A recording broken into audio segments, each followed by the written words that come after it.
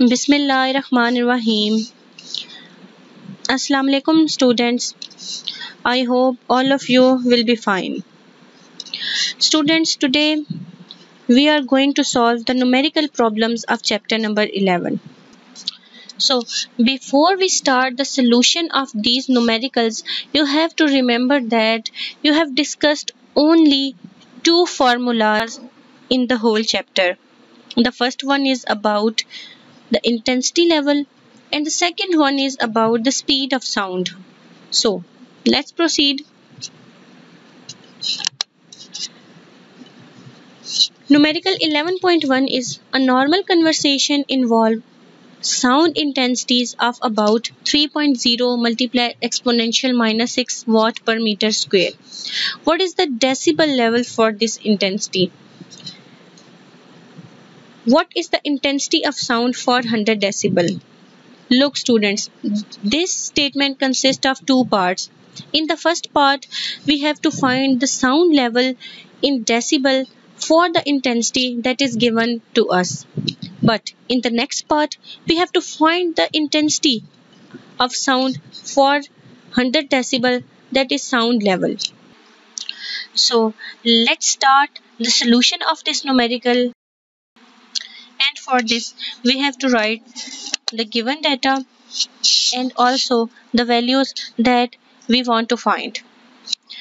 Students आपको मैंने पहले भी बताया कि इस न्यूमेरिकल में दो पार्ट्स हैं।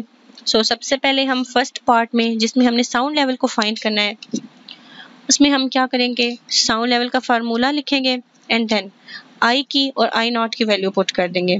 आई नॉट क्या है? फेंटेस्ट इंटेंसिटी ऑफ़ साउंड जिसकी वैल्यू आपको गिवन है। That 10 exponential minus twelve watt per metre square तो स्टूडेंट्स हम इन दोनों वैल्यूज़ को पुट करेंगे इक्वेशन में और डायरेक्ट हम कैलकुलेटर पे पूरी वैल्यू को लिखने के बाद कैलकुलेट कर लेंगे और आंसर हमारे पास आ जाएगा 64.77 जिसको राउंड ऑफ़ करके आप 64.8 लिख सकते हैं।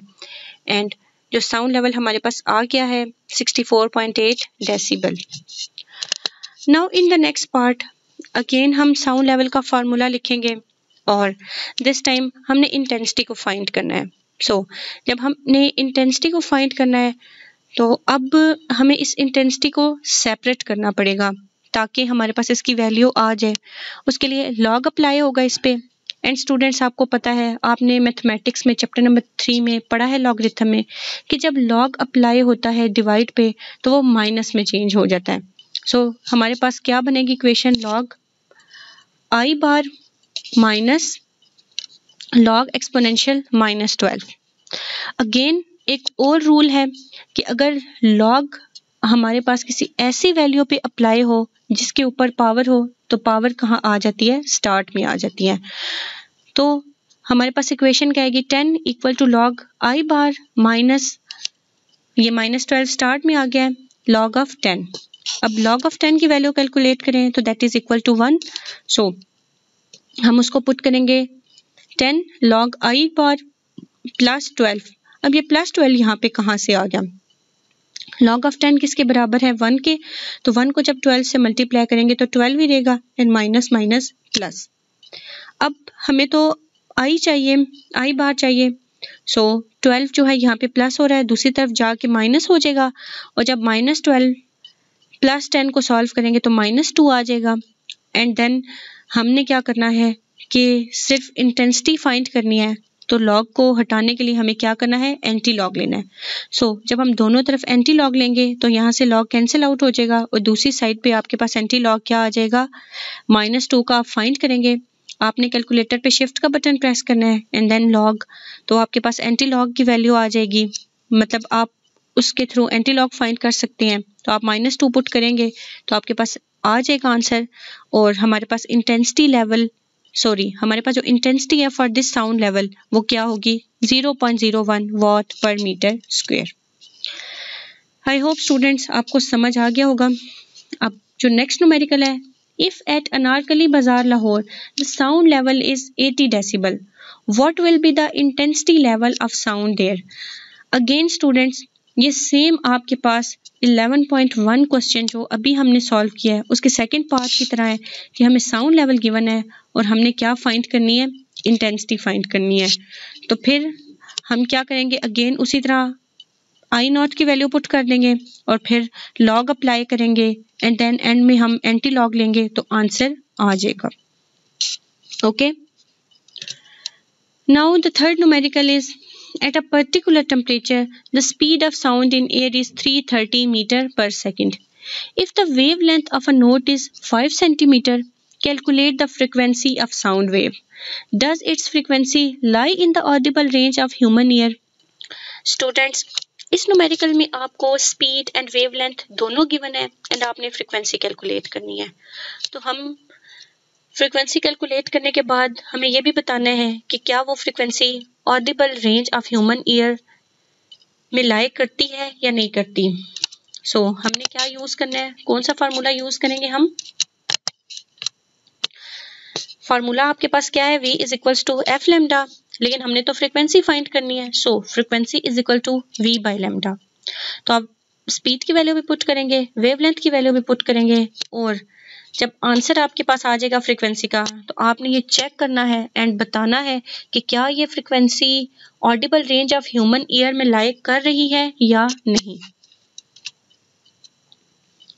The next numerical is a doctor count 72 to heart beats in one minute calculate the frequency and periods of heart beat in this numerical the number of vibration and the time is given so, we have to calculate the frequency and period of heartbeat. The given data is number of heartbeat that we have to denote with small n is equal to 72. The time is 1 minute but minute is not a standard unit so we have to calculate time in seconds and you know 1 minute is equal to 60 seconds. We have to find the time period and frequency. So first of all we have to find the frequency. In this numerical, we apply the definition of frequency that is number of vibrations per unit time.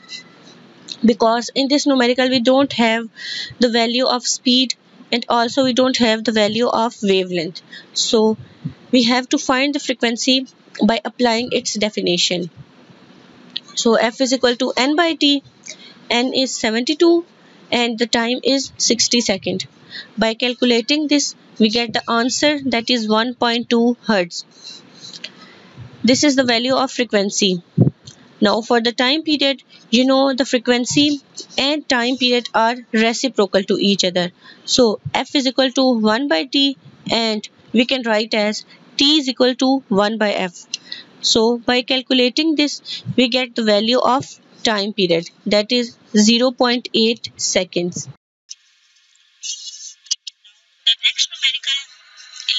5 is a marine survey ship sends a sound wave straight to the seabed.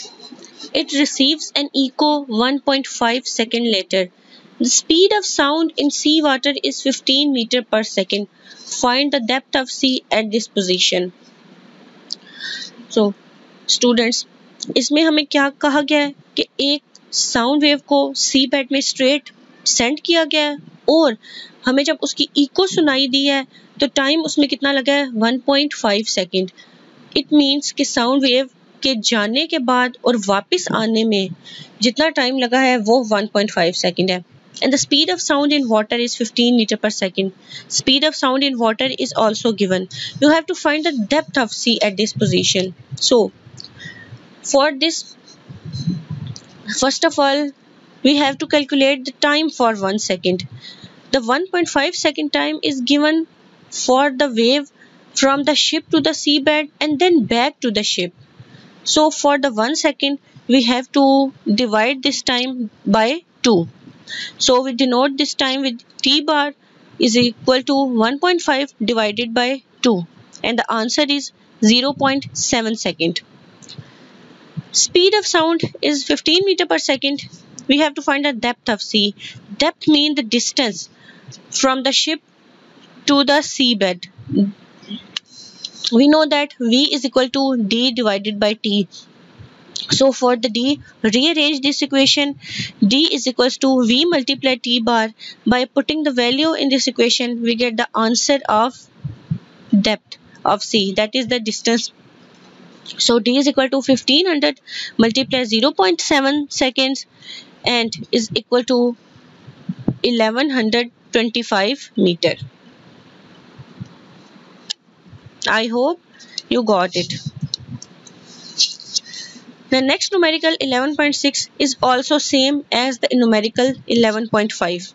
In this numerical, a student clapped his hand near a cliff and heard the echo after 5 seconds. What is the distance of the cliff from the student if the speed of sound is taken as 346 meter per second? Students के numerical भी same है just इसमें आपको जो time बता दिया गया कि अगर एक student ने अपने hand को clap किया एक cliff के नियर और उसकी इको फाइव सेकंड के बाद सुनी है तो अगेन हमने क्या करना है कि डिस्टेंस बताना है कि स्टूडेंट से लेके क्लिफ तक क्या डिस्टेंस है और वहाँ पे जो स्पीड ऑफ़ साउंड हम ले रहे हैं that is 346 metre per second so अगर हमें टाइम फॉर वन साइड पता होगा तो हम डिस्टेंस को कैलकुलेट कर सकते हैं और इसके लिए हमें इसको टू पे डिवाइड करना है। क्योंकि ये फाइव सेकेंड टाइम तो उस आवाज़ के जाने और वापस आने का है लेकिन हमें तो एक साइड का टाइम चाहिए। So T bar is is equal to 5 divided by 2 and it is 3 uh, sorry 2.5 seconds. Velocity is 346 meter per second again we have to put the value of v and t bar in this equation and we get the answer that is 865 meter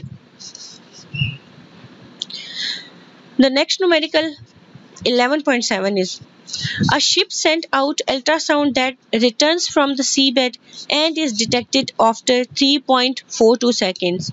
If the speed of ultrasound through seawater is 1531 meter per second, what is the distance of the seabed from the ship? Again, it is also same as numerical 11.5 and 11.6.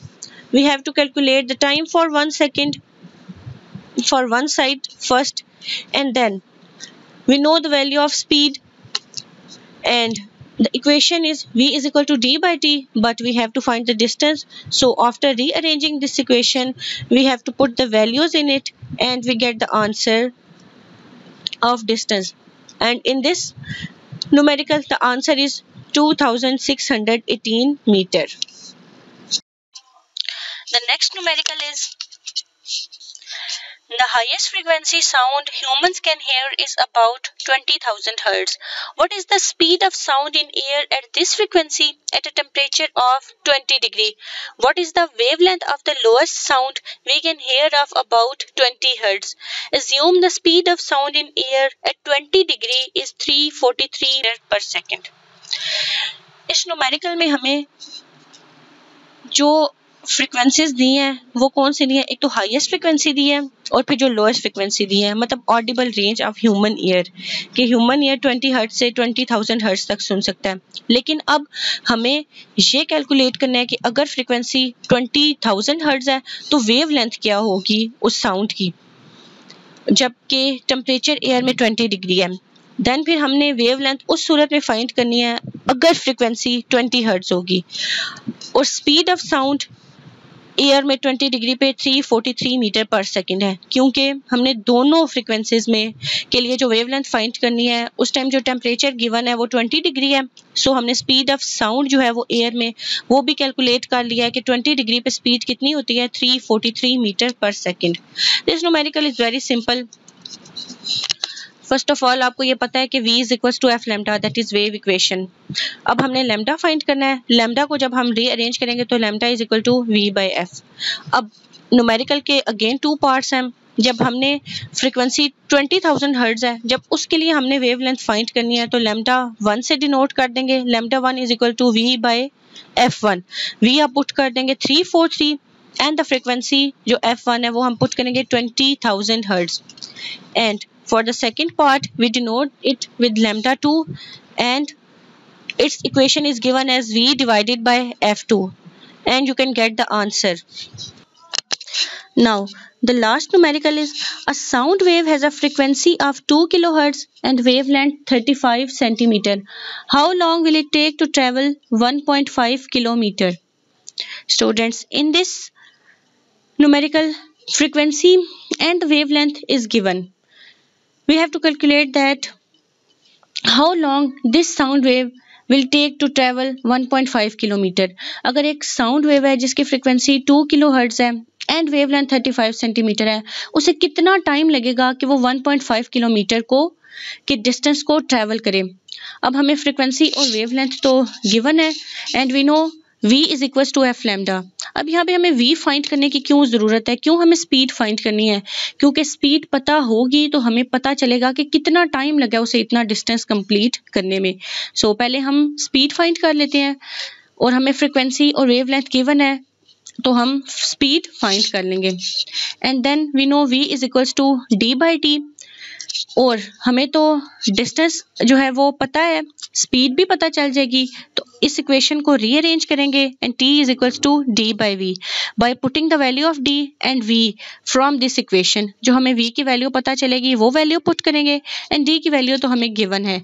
तो हम उससे calculate कर सकते हैं time और हमारे पास answer आ जाएगा। आपने ये कैलकुलेट करना है और बताना है कि क्या टाइम आया है ओके आपने स्टैंडर्ड यूनिट्स पुट करनी है। जैसे फ्रिक्वेंसी का यूनिट हर्ट्स है तो आपने किलो की जगह थाउज़ेंड पुट करना है। सेम डिस्टेंस का यूनिट भी मीटर है तो आपने किलो की जगह थाउज़ेंड पुट करके इसको कैलकुलेट करना है। एंड यू नो जो वेव लेंथ है, उसका यूनिट भी मीटर है तो आपने इसको सेंटीमीटर को मीटर में कन्वर्ट करके देन ये न्यूमेरिकल सॉल्व करना है। ओके स्टूडेंट्स आई होप आपको ये न्यूमेरिकल क्लियर हो गए होंगे? और if you still have any query you can ask me thank you and अल्लाह हाफिज़